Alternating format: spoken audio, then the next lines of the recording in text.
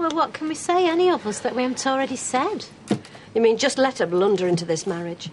Well, apart from kidnapping her or taking her out of the country, I can't see how we can stop her. Don't tempt me. Hi. Oh, I saw you come in. Have you got a minute? no, no, I. Please. I'd really like to explain. What say you want? I didn't mean to upset you. We know exactly what you meant to do. Take advantage of her. Well, it's not going to happen. She might be too soft to tell you where to get off, but I'm not. Is everything all right? Um, no, no, I'm, I'm sorry, I've forgotten something. Just keep away from her. I'm sorry. I, I really didn't mean to upset anybody. Sorry. Bit of a misunderstanding.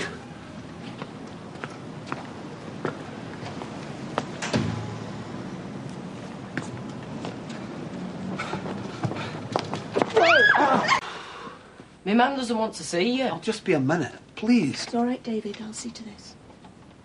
You'd better come in. I don't want embarrassing in public again. I'll be upstairs if you need help. Thanks. I just wanted to explain. Yes, you've already said that. You also said you didn't want to upset anybody. Well, you have. My entire family. How many times can I say I'm sorry? Ever since it ended, I've tried to make things normal. To give Sarah, David, and Bethany a normal life. It seems to me you've done brilliantly. I hear David at night, shouting in his sleep. He still has nightmares. If I go into him, he denies it, trying to protect me. Sarah hates being in the house on her own. I heard her say to Scooter she, uh, she imagines there's someone. You could help other people. You just don't get it, do you? If I didn't have to keep it together for them, I would have gone mad. But sometimes I manage to go for a whole day without thinking about any of it. And you know the worst thing?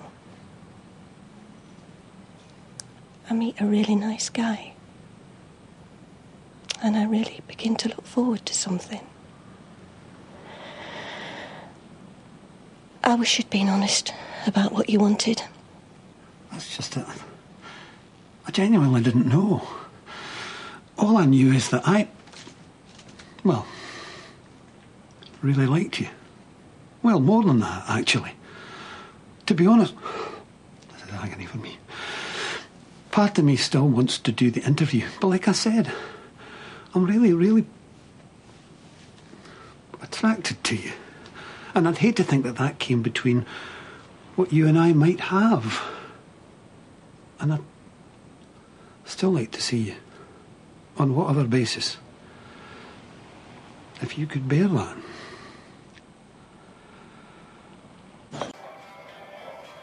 You sure you're going to finish work by four o'clock? Well, I spoke to Dev yesterday and he said it'd be okay. Okay, I'll pick Beth up from school and get her ready. Are you going somewhere? Yeah, it's a fun day on the Red Rec. You coming? You're joking, it'll be all kids stuff. What, you an old age pensioner? Ah, come on, it'd be a giggle. There's face painting for Bethany and there's all sorts. Yeah, including me dad making a fool of himself. Oh, is Martin going to be there? Yeah, he told me. Some at Weatherfield team are going and he'll be there, running about in his chicken outfit. All the more reason why we should go then. All the more reason for staying away, you mean? What if some kids from my school found out he were my dad? It's so embarrassing. You won't tell anybody it's him in that suit, will you? Not if it mortifies you that much, no. Yeah, it does.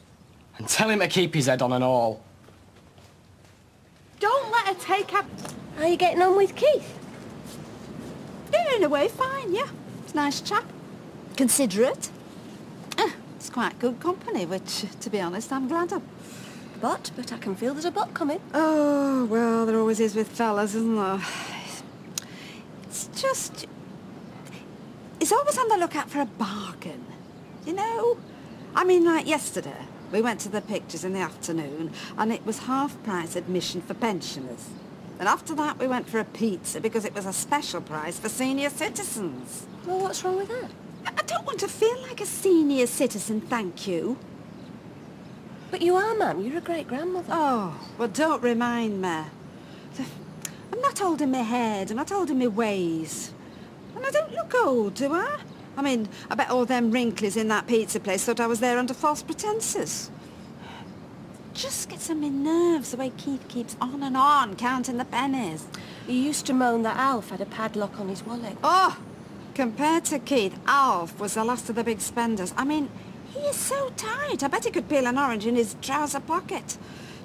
I told you, yesterday we went for a pizza, right? Well, I could only eat half of mine. He went and took the other half home. I mean, come on. I call that really miserly. I am not miserly. Oh, don't do that. You gave me a right turn.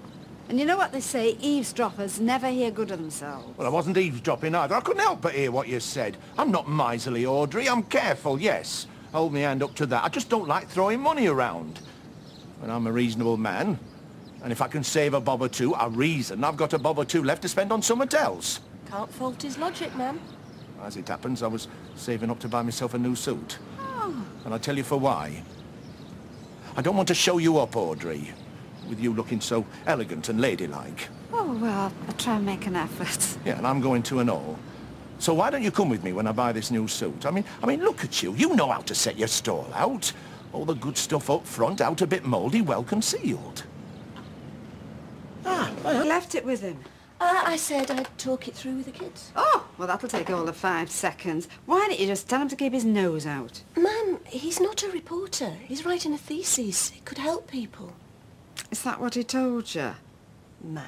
Uh, well, come on, hear about these people with their weird obsessions. No, it's all above board. I'm sure of it. Gail, he's a footman. He should be writing a thesis on bunions and verrucas, not killers.